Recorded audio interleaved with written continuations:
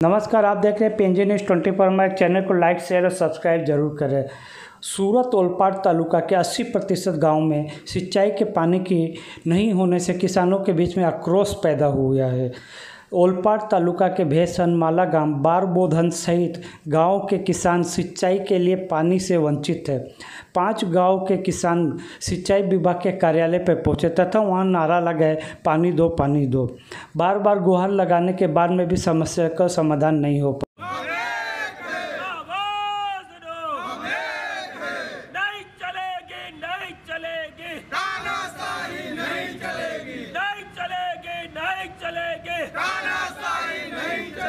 पानी की कमी से धान गन्ना चारा तथा अन्य सब्जियां जो सूखने का डर है तो चलिए देखते हैं आगे का रिपोर्ट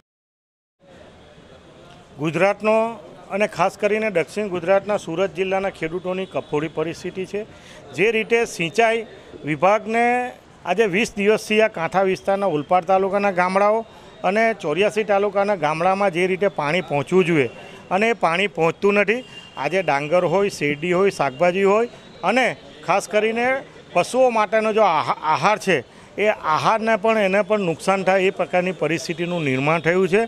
આના કારણે ખેડૂતો વ્યથિત છે. જે રીતે ડીઝલના ભાવો, ખાતરના ભાવો, બિયારણના ભાવો, આ સમગ્ર બાબતમાંથી ખેડૂત જ્યારે દુઃખી થયો હોય અને ગઈકાલે જ સરકારે જે આઠ કલાક વીજળી આપવાની વાત હતી, એ છ કલાક થઈ, સિંચાઈના પાણી નથી મળતા એક બાજુ એક બાજુ વીજળીને કારણે પાણી મળતું નથી. આના કારણે ખેડૂતો ત્યાહિયામ તાહિયામ અને વ્યાકુળ અને દુઃખી થયા છે.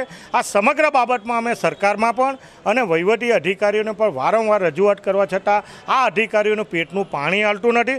એસી ઓફિસમાં બેસીને ફક્ત કાગળો પર જ પ્રોગ્રામો બનાવીને તંત્રના ટાઈફાઓ કરીને એક બાજુ લોકોને ધ્યાન, બીજા બાજુ દોરવાનું કામ કરે છે. આના અનુસંધાનમાં આજે ચોર્યાસી તાલુકાના ખેડૂતોને સાથે રાખીને સ્થળ નિરીક્ષણ કરો, તમે નેર પર ગઈને, ખેતરમાં ગઈને પરિસ્થિતિ જો આ બંને બાજુનો અભ્યાસ કરીને તમે ચોક્કસ પ્રકારનું મોનિટરિંગ કરો. તો આ ખેડૂતોનો બળી બળવાનો જે પાક આરે ઊભેલો છે, એ પાક બચે. એના માટે આજે અમે રજૂઆત કરવા માટે સિંચાઈ અધિકારીને આવ્યા છે.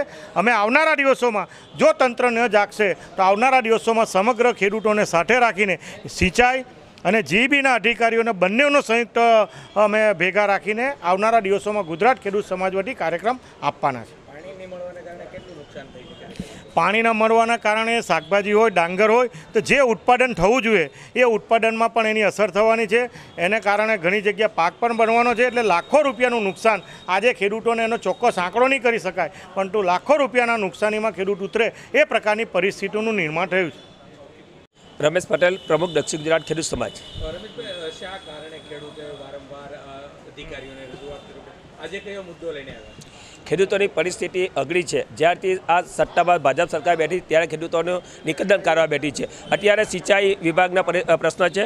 ઓલપા અને ચોર્યાસી તાલુકાના કાંઠા વિસ્તારમાં આજે એક મહિનો થયો, છતાં બી સિંચાઈના પાણી મળતા નથી. એ રજૂઆત લઈને આવ્યા છે. અમે સરકારને અને અધિકારીને વારંવાર રજૂઆત કરી છે કે ખેડૂતોને પૂરતા પ્રમાણમાં પાણી આપો. ડેમમાં પૂરતા પ્રમાણમાં પાણી હોવા છતાં બી ખેડૂતોને પાણી પહોંચાડી શકતા નથી. એ રજૂઆત માટે આવ્યા છે. જો આ પાણી નહીં મળે, તો ખેડૂતોની આવકમાં પચાસ ટકા ઘટાડો થઈ જશે. એક બાજુ સરકાર બે હજાર બાવીસમાં આવક બમણી કરવાની વાતો કરે છે અને બીજી બાજુ આ જે પાણી ન આપવાથી ખેડૂતોનો પાકમાં નુકસાન થવાની બીટી સેવાઈ રહી છે. દક્ષિણ ગુજરાતના ખેડૂતોને આને લઈને કેટલી કફોડી હાલત દક્ષિણ ગુજરાત ખેડૂતોની હાલત અત્યારે શેરડી શાકભાજી ઘાસચારો અને ડાંગરમાં મોટા પ્રમાણમાં લાખો અને કરોડોમાં નુકસાન થાય બીટી છે. જો હજુ બી પૂરતા પ્રમાણમાં સમયસર પાણી આપે તો ખેડૂતો પોતાનો પાક બચાવી શકે એમ છે.